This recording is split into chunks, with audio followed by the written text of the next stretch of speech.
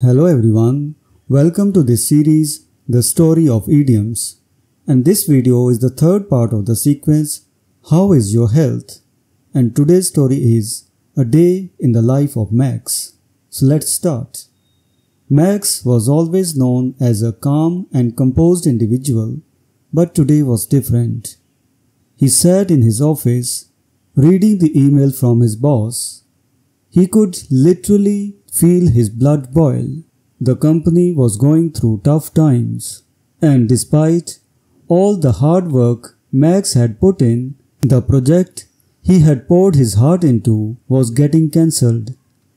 After taking a few deep breaths, Max decided it was time to get his life back on track. He had always been fit as a fiddle, but the stress had taken a toll on his health. He looked in the mirror and realized he needed to make some changes. The first step was to get back on his feet, both physically and mentally. Max remembered how gardening always made him feel at peace. He had a bit of a green thumb, and the thought of nurturing plants gave him a sense of control and calm. He decided to spend the weekend in his garden, hoping that the physical activity and the connection with nature would help him clear his mind. The weekend passed and Max returned to work with renewed energy. His plan was working, he was starting to feel more like himself again. But just as the things were looking up, he received another message, this time from company's HR department asking him to undergo surgery to fix an old shoulder injury. Max had been putting off the procedure for months, but now he had to go under the knife. The night before the surgery, Max started to get cold feet. He wasn't scared of the surgery itself, but worried about how long it would take to recover. What if he couldn't get back to his routine quickly? What if things at work spiraled out of control in his absence? The next morning, Max decided to go cold turkey on all his worries.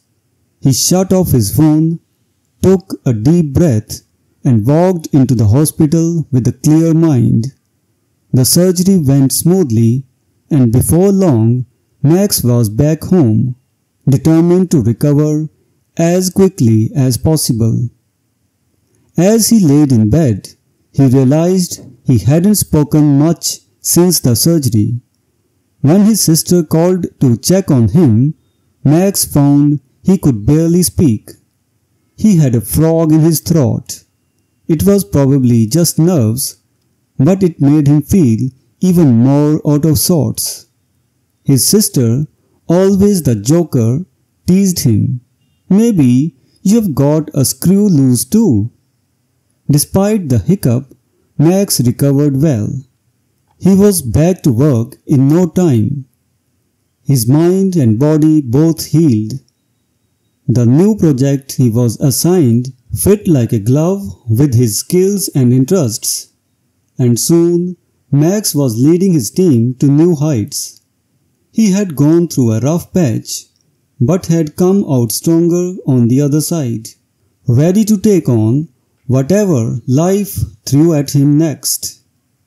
So this was today's story. Now let us study the idioms that were made bold in the story. Feel one's blood boil, meaning to become very angry. Sentence When Sarah saw the unfair treatment of her friend, she could feel her blood boil.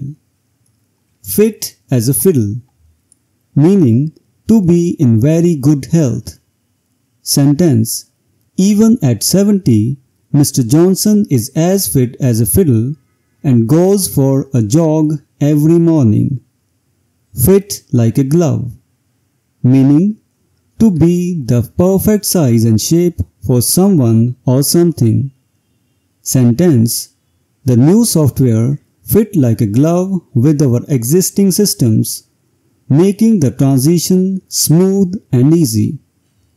Get back on one's feet, meaning to recover especially after an illness, difficulty or setback. Sentence After the accident, it took John several months to get back on his feet, but now he is stronger than ever. Get back on track, meaning to return to the correct course of action after a problem or interruption. Sentence After a brief delay, the team managed to get back on track and complete the project on time. Get cold feet, meaning to become nervous or anxious about something, often causing a change in decision.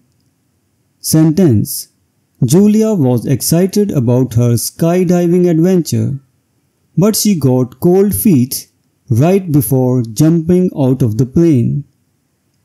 Go cold turkey, meaning to suddenly stop doing something, especially a bad habit. Sentence After years of smoking, Dave decided to go cold turkey and quit once and for all. Go under knife, meaning to have surgery. Sentence After months of pain, Laura finally decided to go under the knife to fix her knee.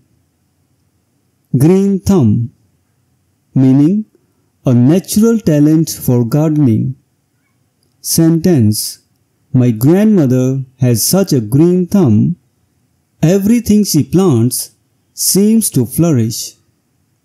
Have a frog in one's throat, meaning to have difficulty speaking clearly, often because of sore throat or nervousness. Sentence During the presentation, Tom had a frog in his throat and had to clear his voice several times. Have a screw loose, meaning to behave strangely or to have unusual ideas, often implying a lack of sanity. Sentence When Mark started talking about his plans to build a rocket in his backyard, we wondered if he had a screw loose. So this was today's story on idioms. We will meet in the next video and discuss some more idioms. Until then, goodbye and thank you.